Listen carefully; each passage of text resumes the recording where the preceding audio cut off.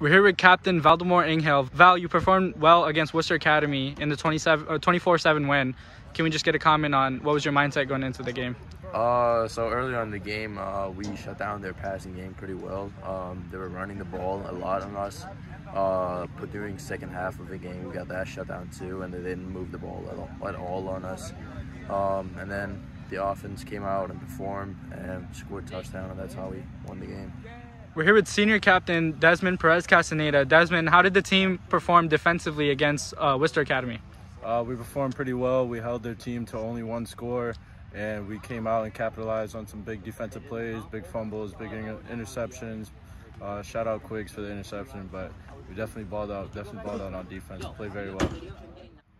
We're here with senior captain Joey Whitehall. Joey, you performed really well against Worcester Academy. Can I just get a comment on your mindset going into that game? Yeah, of course. So my mindset and a bunch of the other guys' mindsets were just to go in there with 120% effort. You know, uh, we were hungry for that first win, and we went in there wanting to execute.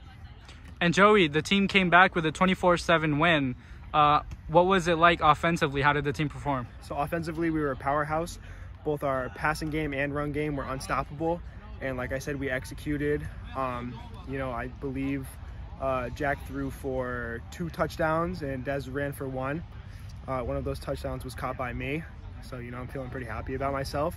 Uh, but even more happy for my guys and the way that they, you know, the front line was blocking, um, all of our skill guys, and we got the job done. We're here with Coach V. Coach, the team came back with a 24-7 win against Worcester. Can I just get, get a comment on that?